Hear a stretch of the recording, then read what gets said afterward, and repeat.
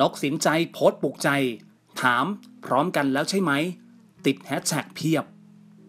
ช่วงกระแสการเมืองร้อนแรงอย่างนี้ครับ กับการชุมนุมขับไล่รัฐบาล แผ่ขยายไปทั่วพื้นที่ของประเทศไทย ขณะที่อีกด้านหนึ่งครับก็มีกลุ่มประชาชนที่ออกมาแสดงพลังปกป้องสถาบันล่าสุดนั้นนกสินจัย เปล่งพานิชนักแสดงชื่อดัง ได้โพสต์ story ผ่านทางอินสตาแกรมเป็นภาพสีเหลือง มีมือทำ mini heart อยู่ตรงกลาง พร้อมกับเขียนข้อความครับว่า พร้อมกันแล้วใช่ไหม ก่อนที่จะติดแฮชแท็กอาทิแฮชแท็กปกป้องสถาบันพระมหากษัตริย์แฮชแท็กอนุชนรักชาติ ศาสน์กษัตริย์แฮชแท็กเรารักสถาบันพระมหากษัตริย์เป็นต้น ทั้งนี้นกสินจัยนะครับ เป็นอีกหนึ่งคนบันเทิงที่มีบทบาทในการเคลื่อนไหวทางการเมือง ในช่วงการชุมนุมของกปปสเป็นอีกหนึ่งช่องทางข่าวครับที่คุณจะสามารถติดตาม และอัปเดตข่าวสารไปพร้อม ๆ กันได้เลยนะครับ อย่าลืมกดติดตามชมซูเปอร์สตาร์ดาราแล้วก็อย่าลืมเข้ามาติชมหรือคอมเมนต์